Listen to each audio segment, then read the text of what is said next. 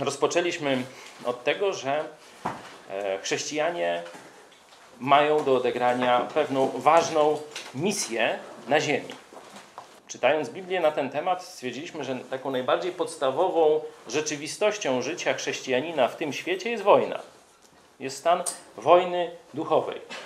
I my w ten konflikt, chcąc, nie chcąc, jesteśmy zaangażowani. Jesteśmy po prostu w środku pola bitwy. I mówiliśmy też o pewnym cudownym zjawisku, pewnej cudownej maszynerii. Mówiliśmy o rzeczywistości, którą Bóg powołał do życia, żeby odnieść zwycięstwo w tej wojnie. Tą niezwykłością jest spotkanie się w niej dwóch porządków: ludzkiego i Bożego. Ten e, nowy, nowa jakość, ten nowy organizm, Kościół, jest tym, co Bóg przeciwstawił siłom zła.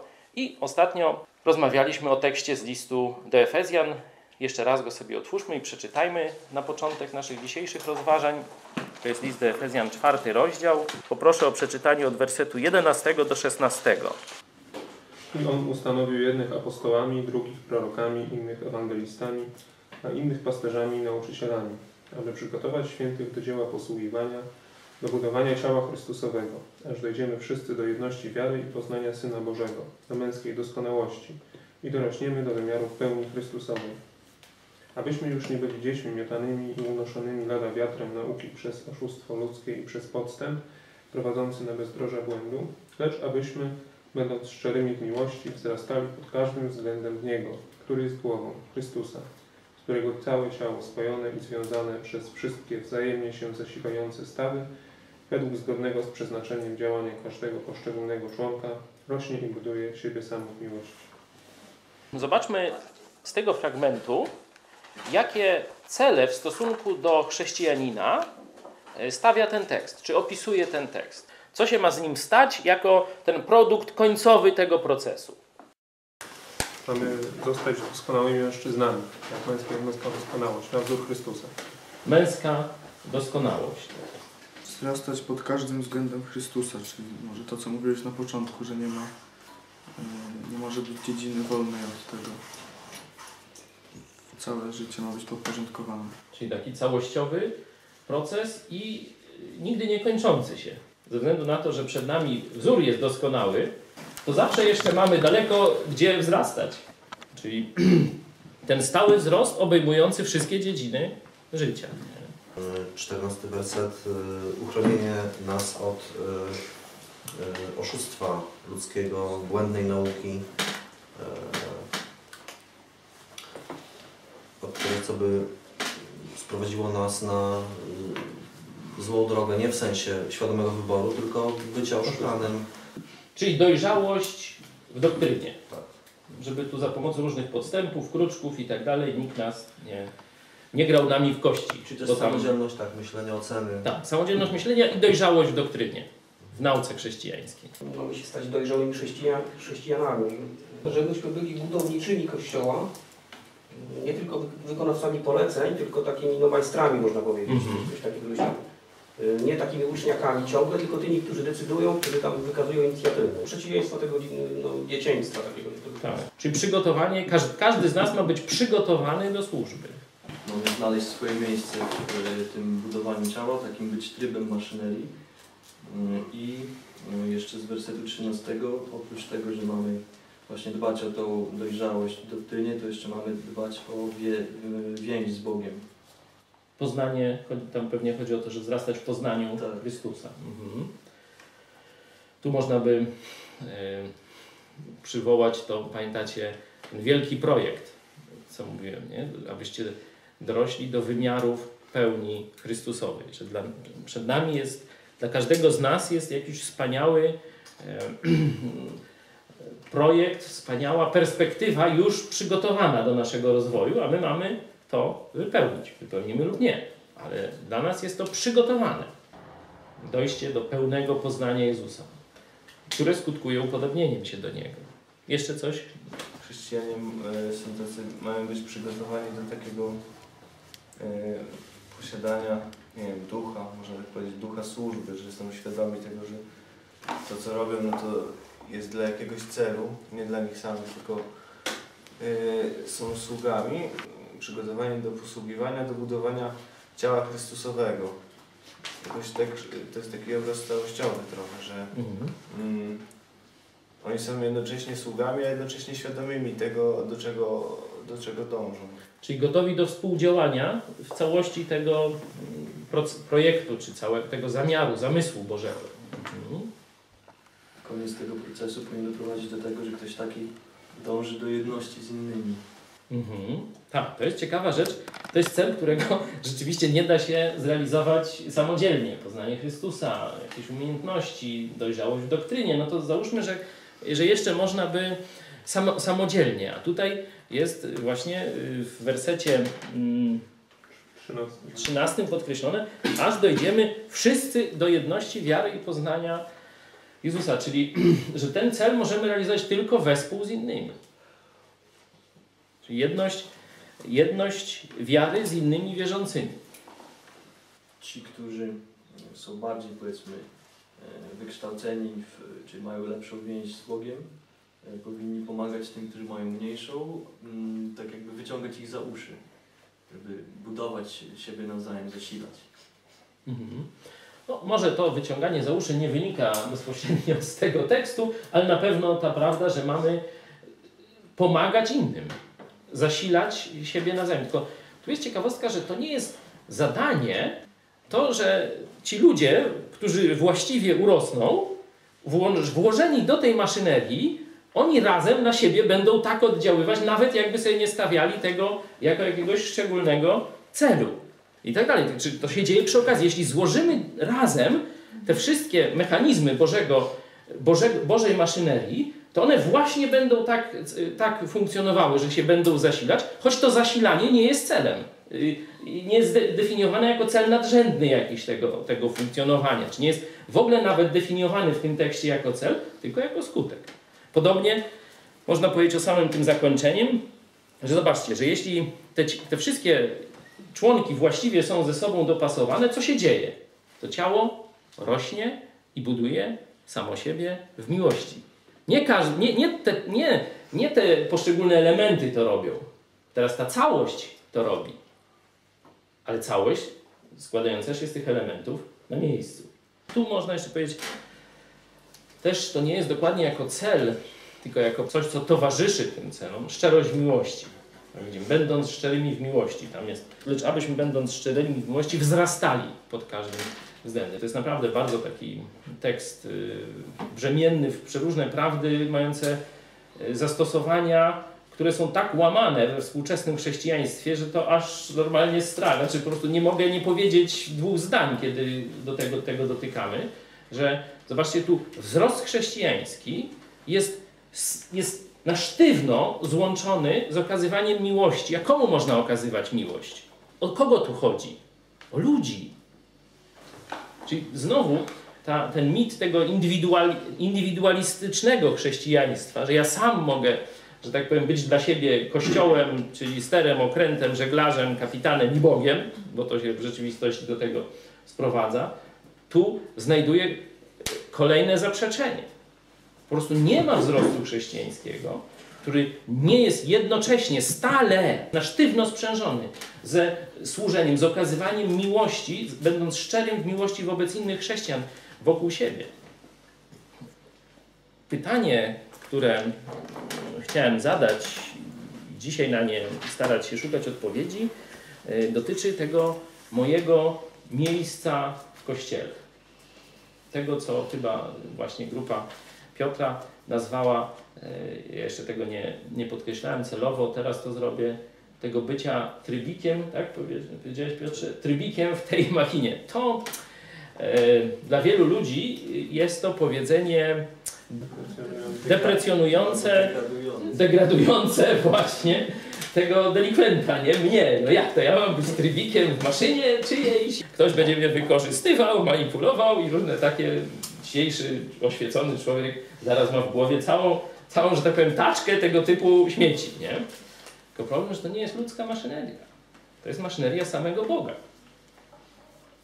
Jeśli ja miałbym mieć przywilej bycia trybikiem w Bożej maszynerii, to mi, że tak powiem, buty mu całować.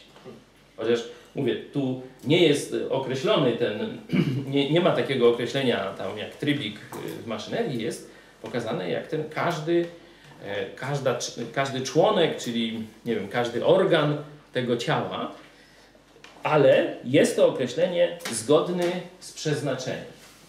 Jak y, grupa funkcjonuje, kiedy każdy jest tam na swoim miejscu i robi to, co do niego należy. Y, Oczywiście to można rozpatrywać z punktu widzenia takiego czysto ludzkiego, jakiejś socjologii czy psychologii. I też wiele ciekawych rzeczy się dowiemy na temat budowy grupy, znaczy takiej budowy strukturalnej i funkcjonalnej grupy. Nie? Że te same, te same osoby, czyli ta sama grupa ludzi, y, zorganizowana w różny sposób, będzie miała różny, różną wydajność. Ci sami ludzie z takim samym dobrym nastawieniem, z taką samą produktywnością, z takimi samymi narzędziami, z tymi samymi umiejętnościami, ułożeni, ułożeni w różne konfiguracje organizacyjne, będą jako grupa dawali y, całkiem inny efekt. Jednym z celów dla każdego z nas to jest znalezienie tego swojego miejsca w tej Bożej maszynerii. Jest takie funkcjonowanie, żeby funkcjonować zgodnie z moim przeznaczeniem.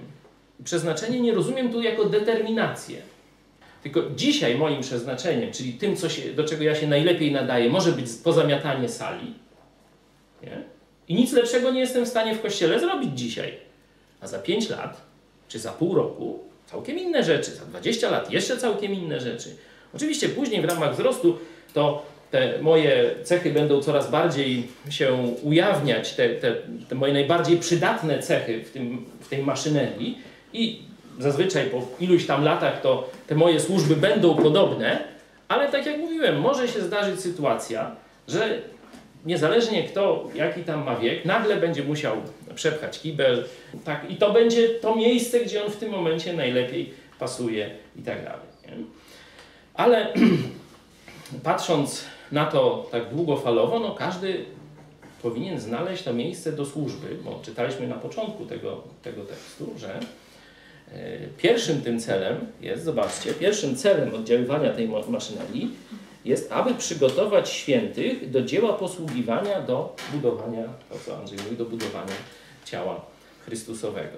I teraz, jak znaleźć to swoje miejsce? Gdybyśmy dzisiaj zapytali siebie nawzajem, to zwykle byśmy, mo, można by nas podzielić na dwie grupy ludzi. Pierwsza, tak, wiem gdzie jest moje miejsce, jestem zadowolony z tego miejsca, robię to, co do mnie należy. No, mogę mieć tylko do siebie pretensje, że jeszcze nie robię tego w sposób taki, jakbym chciał, czy jak wiem, że Bóg by chciał, czy jakbym mógł, i tu różne tam możemy sobie tam jakieś pretensje do siebie, ale wiemy, jakie jest nasze miejsce w tym. Nie? To będzie jedna grupa ludzi. Druga grupa ludzi, no to będzie miała tu problem z odpowiedzią na to pytanie, gdzie jest to moje miejsce. Wiem doskonale, że się zgłosi e, na pewno kilka osób, które powiedzą, że oni nie wiedzą, gdzie jest ich miejsce do służby, do czego oni się najlepiej nadają, czym powinni się zająć, gdzie oni są najbardziej potrzebni i tak dalej. I, tak dalej. I z tym y, każdy kościół, ale też i nasz, boryka się. Jak znaleźć to swoje najlepsze, właściwe miejsce w kościele.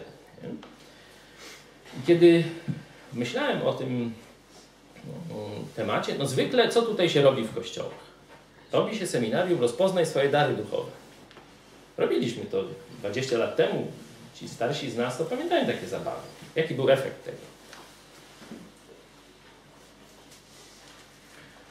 Czy coś się zmieniło? Pewnie nie było. Ci, co wiedzieli, co mają robić, robili dalej swoje. Ci, co nie wiedzieli, jak nie wiedzieli, tak i nie wiedzieli. Nie? Czyli zarzuciliśmy to już dawno temu, nie, nie teraz, kiedy stawiam to pytanie. Stwierdziliśmy, że to jest droga zła. Ona może jest trochę fajna, trochę się poznajemy, ale ona nic nie daje. Abstrahując już od tego pytania, czy te dary duchowe opisywane w Biblii, w dziejach apostolskich, w listach, one dzisiaj funkcjonują tak, jak funkcjonowały 2000 lat temu. Ale jakieś, jakaś odpowiedź na to pytanie, jak znaleźć to swoje miejsce, musi być. Kiedy zastanawiałem się nad tym, to stwierdziłem, że to chyba nie jest tędy droga. Nie, droga nie idzie w tym kierunku, żeby pomóc człowiekowi znaleźć jego mocne, silne strony, znaleźć jego zdolności i tak trata tata. Nie? Bo to jest, to, to jest problem niektórych ludzi, ale ra, raczej patrząc statystycznie jest to marginalny problem. Bo co jest problemem w rzeczywistości, że człowiek nie odnajduje tego swojego miejsca w tej maszynerii? Myślenie moje poszło w tym kierunku, że znalezienie swojego miejsca w tej maszynerii nie jest em, odosobnionym, wyizolowanym zjawiskiem, oderwanym od całości życia chrześcijańskiego. To jest pierwsza obserwacja, ona z tego tekstu wynika. W tym tekście jest, dlatego prosiłem Was, żebyście znaleźli te cele wszystkie. Zauważyliśmy, że to, co znajduje się na końcu tego tekstu, czyli y, funkcjonowanie zgodnego z przeznaczeniem każdego członka, nie występuje jako jakaś wyizolowana rzeczywistość. Występuje w towarzystwie wielu innych celów, któreśmy wymienili, które można by ogólnie opisać jako wzrost chrześcijański, jako poznanie doktrynalne, jako szczerość miłości, znaczy budowanie właściwych więzi z ludźmi w Kościele, przede wszystkim poznanie Jezusa. Nie? Czyli teraz pytanie, czy to znalezienie, ten cel, znalezienie swojego miejsca w ciele, miejsca funkcjonowania jest czymś, co można zrealizować, czym bez tamtych innych jednoczesnych celów, inaczej można powiedzieć, czy te cele są od siebie oderwane i niezależnie realizowane, czy też one postępują, e, rozwój tych celów, czy realizacja tych celów występuje wspólnie. Jak myślicie, na zasadzie, czytając ten tekst, czy zamiarem autora tego tekstu jest przedstawienie rzeczywistości równolegle, niezależnie realizowanych celów, czy też realizacji pewnego projektu, pewnego zespołu celów, które są silnie ze sobą związane i oddziaływują y, na siebie nawzajem. No, nie wiem, jak to jakoś tak wyrazić, udowodnić, ale rzeczywiście taka jest budowa tego tekstu. Ten tekst absolutnie nie separuje tych celów jakoś, y, y, tego tylko wręcz celowo one w pewnym kontekście jest, początek jest właśnie, początek jest i on ustanowił, i tu, czyli on zaplanował jaki początek tej maszynerii, nadał jej impet, ruch, tu mowa o, o Bogu, nie? i później na koniec, aby ona samodzielnie już się odtwarzała, nie? żeby samo budowało siebie w miłości. Nie? Że gdyby to jest przedstawienie jakiegoś y, całościowego pakietu. Nie? To jest opis jakiegoś, mm, jakiegoś przedsięwzięcia, czy, czy, czy plan, który, w którym wszystko musi jednocześnie nastąpić, żeby był ten efekt końcowy. To jest, ta, taka jest budowa tego tekstu. Nie? Jeśli taka jest budowa, no to pierwszym takim podejrzeniem, czy, czy, czy zało, założeniem, nawet nie podejrzeniem, jest, że te, te rzeczy właśnie na siebie oddziaływują, e, mają razem następować, wspomagają siebie e, i tak dalej, i tak dalej. Ci z nas, którzy mają problem ze znalezieniem tego swojego miejsca w Kościele, powinni z tego wyciągnąć mocne wnioski. To są dla Was trudne wnioski. Nie mówię o tych, którzy są niedawno w Kościele, bo do tych to za chwilę, za chwilę wrócę. Ale jeśli ktoś jest długo w Kościele, czyli jest długo chrześcijaninem, długo to ile byśmy, rzućcie parę liczb, co to znaczy długo? 5, 7, 10 lat. No tak właśnie, nie? Mi się też tak 5 tak. 5 to już by było długo. No jak ktoś ma 16 lat czy 15 i przychodzi do kościoła, co jest przecież możliwe, nie? Historia zna takie przypadki, to tu bym trochę wydłużył. Ale jeśli przychodzi to już ukształtowany człowiek 20-paro-30-letni, no to 5 lat to jest długo. Dla części z Was tutaj mogą być dość takie, że tak powiem, no, trudne, bolesne wnioski. Że jeśli ja nie widzę tego swojego celu, tego miejsca w kościele, to znaczy, że nie, realizuje się nie realizują się w moim życiu wszystkie pozostałe rzeczy. albo realizują się w słabym stopniu. Tak słabo, jak znajduję miejsce w kościele, tak słabo znam doktrynę czy naukę chrześcijańską, tak słabo okazuję e, miłość innym e, w kościele, tak słabo e, wzrasta moja, moja dojrzałość, tu rozumiem też jako takie cechy e, psychiczne i tak dalej, i tak dalej. Nie? Bo tu jest ta męska doskonałość, jest, y, wiecie, tym nawet dla kobiet. Dlatego y, tutaj ten sam, że tak powiem, cel stawiamy dla wszystkich wierzących. Męska doskonałość w Chrystusie. Nie? Czyli jeśli nie mam swojego miejsca w Kościele, to najprawdopodobniej ja jestem jeszcze dzieckiem w tych innych dziedzinach życia. Jest druga możliwość, nie? Tę bardziej rezerwuję do e, ludzi e, nowych w kościele, że jeszcze oni są dziećmi, bo taki jest ich czas. Nie? I tu wiemy, że jeśli normalnie dalej będą dobrze się rozwijać, no to to wszystko się tam stanie. No jeszcze jest trzecia, trzecia możliwość, że mówiliśmy, że to jest Boży doskonały projekt i On ustanowił jednych i tak dalej, aby to się działo. Ale teraz każdy kościół lokalny, każda jakieś, jakieś odbicie lokalne grupy wierzących tego projektu doskonałego Bożego, ono jest w jakiś sposób koślawe. Nie jest doskonałe.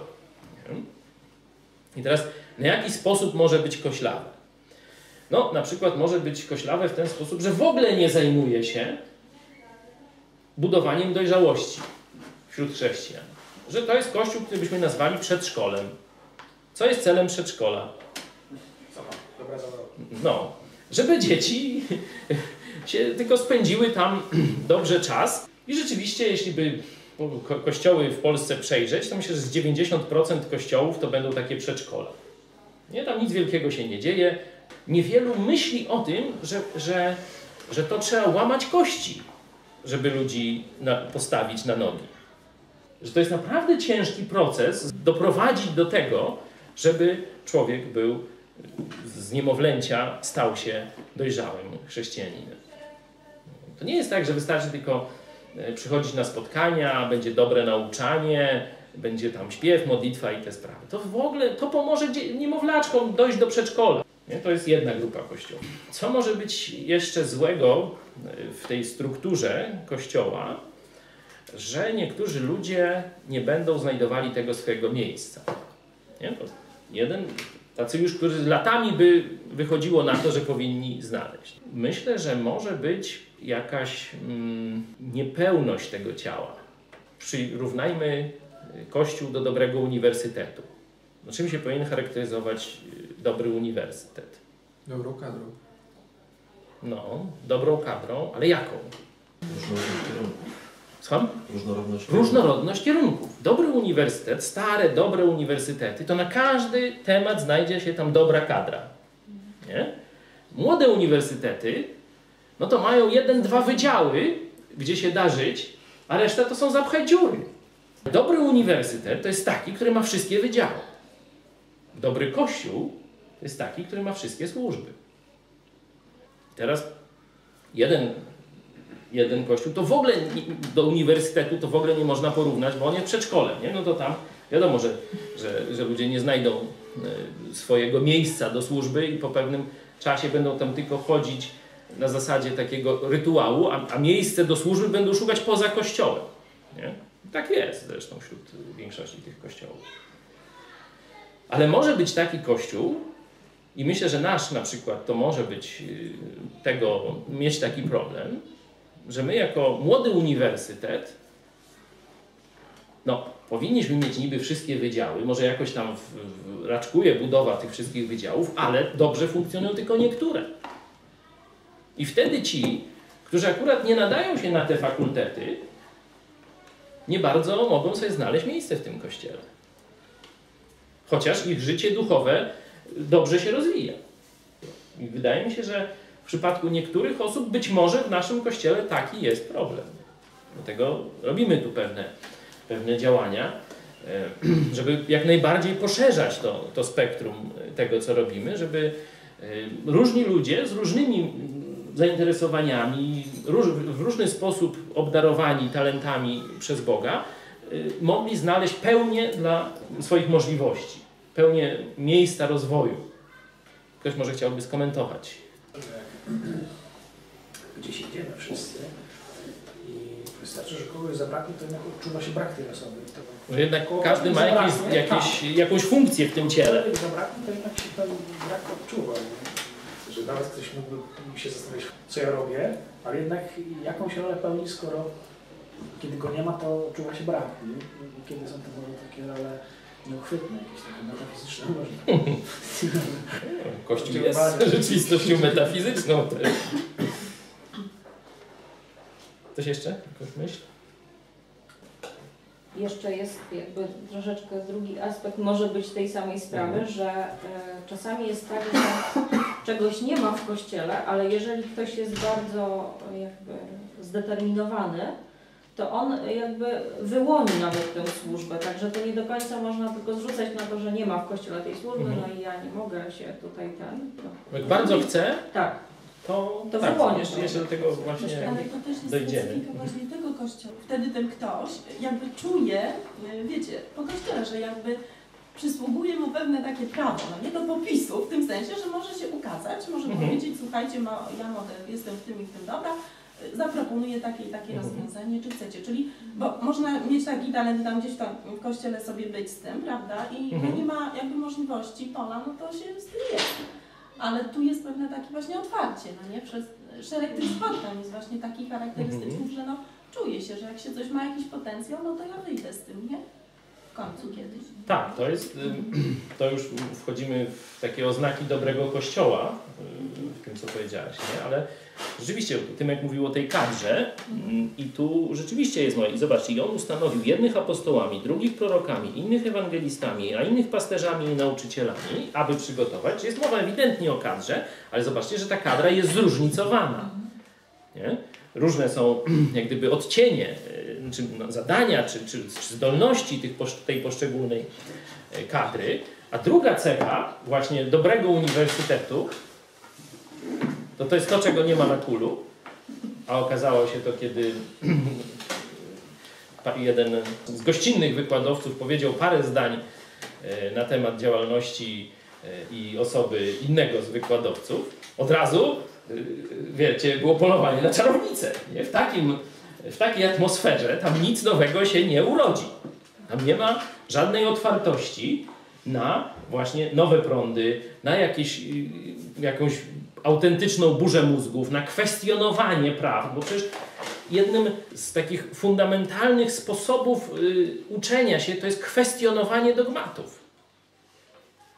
Oczywiście kwestionowanie nie musi, to nie jest prostackie odrzucenie. Tylko wierzyć w dogmaty, kto będzie prawdziwie?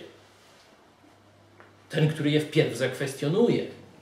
Dopiero jak metodę swojego badawczą, swoich rozumów, swojego rozumu, najlepszymi swoimi wysiłkami nie potrafi tego obalić, trzyma się mu to, to on będzie, będzie za tym szedł. A jeśli on to tylko przyjął, mu tak powiedzieli, na trzecim roku był wykład tam z, i powiedzieli mu jest taki, tak i tak dalej, on tam coś zapamiętał. Ja zrobiłem kiedyś eksperyment, część z Was była świadkami na księdzu. Nie? Bo nawet jeszcze kiedyś to księża byli bardziej odważni. Nie? Ten ksiądz miał odwagę przyjść na nasze spotkanie. Ja mówię, no to ja będę księdzu czytał y, fragmenty nauki katolickiej, a ksiądz będzie mówił, czy to jest prawda, czy fałsz. I przeczytałem mu dwa fragmenty. Jeden, który był potępiony przez y, oficjalną naukę katolicką, a drugi, który był właśnie zalecany. Że tak właśnie wy wygląda nauka katolicka. Jak myślicie, jaki był wynik tego testu? No oblał w dwóch przypadkach. No bo to jest właśnie efekt tego typu nauczania. On miał tą teologię gdzieś tam. Dopiero człowiek, który będzie kwestionował dogmaty, będzie pytał się, czy na pewno tak jest. I dla siebie samego tę lekcję odrobi. I stwierdzi, tak, jest tak, właśnie jest tak. Dlatego, że to zbadałem, to przestudiowałem, te drogi wszystkie sprawdziłem, które inni ludzie wymyślili. I wtedy on ma ugruntowaną wiedzę. To jest rzeczywiście, nie będzie ktoś takim człowiekiem grał w kości. Dobry kościół to ma kadrę, ma wszystkie wydziały, ale też ma wolność poszukiwań. Wręcz oczekiwanie, że studenci mają wnieść nową jakość do tego uniwersytetu. Chciałem zakończyć myślą z innego tekstu, który mam nadzieję y, pokaże Wam prawdziwość tej tezy, którą postawiłem. Że żeby znaleźć swoje miejsce w Kościele, to mój wzrost musi się odbywać na wszystkich kierunkach, które Bóg w Biblii wyznacza. I wraz z tym wzrostem moje dopasowanie do miejsca w tej Bożej maszynerii też będzie wzrastało. Coraz lepiej będę do tego pasował. Teraz spójrzmy na to troszeczkę z innej perspektywy, bo teraz patrzymy z perspektywy ludzkiej, nie? że to my tu mamy wzrastać, my mamy coś robić, my mamy okazywać miłość, my mamy poznawać doktrynę i my będziemy znajdowali to właściwe miejsce w tej Bożej maszynerii. A teraz przejdźmy na krótko do Ewangelii Jana. Bardzo e, treściwy, króciutki fragment, dwa wersety. 15 rozdział. Ja jestem prawdziwym krzewem winnym, a ojciec mój jest winogrodnikiem.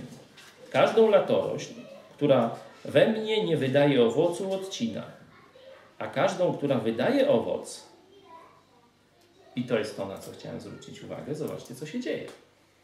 Co się dzieje z każdą latoroślą, z każdym z nas, który wydaje owoc. Oczyszcza, aby wydawała obfitszy owoc. Czyli w tym wszystkim, co mówiliśmy z takiego trochę, można powiedzieć, psychologicznego i socjologicznego sposobu patrzenia na Kościół, jest jeszcze teraz druga perspektywa, ta metafizyczna, o której Radek mówił.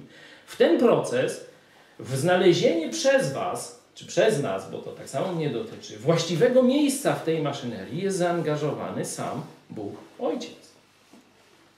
Sam Bóg Ojciec, który dogląda funkcjonowanie w tej maszynerii, w ciele Chrystusa, każdego z nas. On patrzy na nasze, na efekty naszej, naszego funkcjonowania. Każda latorośl, tu jest mowa o tych, co tam nie wydają tego owocu, ale później jest. Każda, która wydaje owoc, już w tym miejscu, tu gdzie jest, zieleni się, widać, że, że rośnie, że liście, że jakieś kwiaty, że coś się dzieje z tą latoroślą. Co robi ojciec? Bóg Ojciec podejmuje nadprzyrodzone, w tym sensie nadprzyrodzone, bo jego autorstwa, tu nazywam, dlatego używam tego słowa nadprzyrodzone, działania, żeby ten nasz rozwój zdynamizować. Żeby jeszcze obfitszy był owoc, zieleń i tak dalej tej naszej gałązki. W tym kontekście to już na pewno mówienie o tym, że ja nie wydaję owocu, bo jest czystą głupotą. W tym momencie jest już czystą głupotą.